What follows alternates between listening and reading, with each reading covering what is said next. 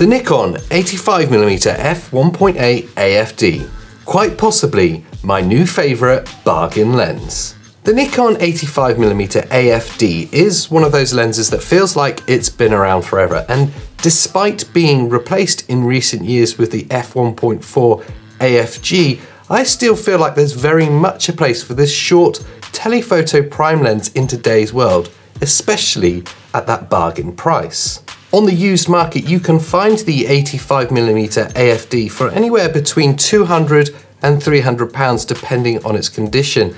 And as I said, for a short telephoto prime lens for full frame cameras, that represents incredible value. With nine straight aperture blades and a maximum aperture of f1.8, this lens is absolutely perfect for portraits or talking head style videos. It blows out the background in a really aesthetically pleasing way. It will also stop all the way down to f16 and far from being a one trick pony, this lens will also work on Nikon's crop sensored APS-C size cameras, just giving you 129mm equivalents.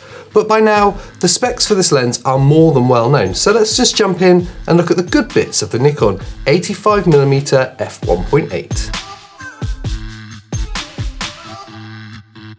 And first up is the bang for buck that this lens represents. I know I say it a lot, but I truly do love finding filmmaking gear that doesn't break the bank, and this lens definitely sits within that camp.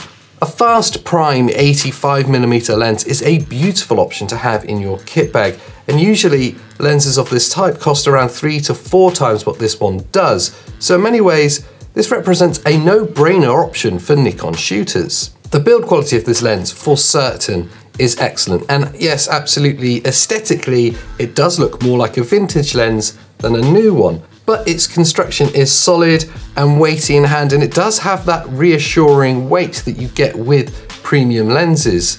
Alongside this, all the focus rings and the aperture clicks all feel great to use and somehow it has a quality that's almost like new despite its age. The image quality, in truth, is beautiful. I've genuinely fallen in love with this lens, especially when we get to film talking head or interview style pieces. That's when it really comes into its own.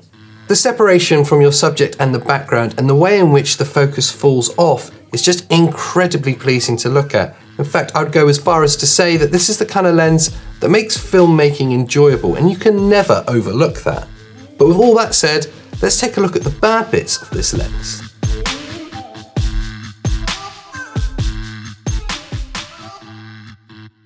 It's not the sharpest lens for sure, especially when wide open, but to be fair, that's a harsh criticism of this lens on its own, as all fast lenses tend to suffer with that, especially in the corners. But it does have to be noted that this lens does slightly underperform when you compare it to its new modern alternative, the f1.4 AFG. Beyond that bigger problem, there's just a host of smaller niggles that filmmakers will find when using this lens. There's no image stabilization, the autofocus is slow and loud, and the minimum focus distance is a whopping three feet. But in my mind, these aren't necessarily bad bits, they're just more quirks that you're gonna have to live with if you want that incredible image for a bargain price.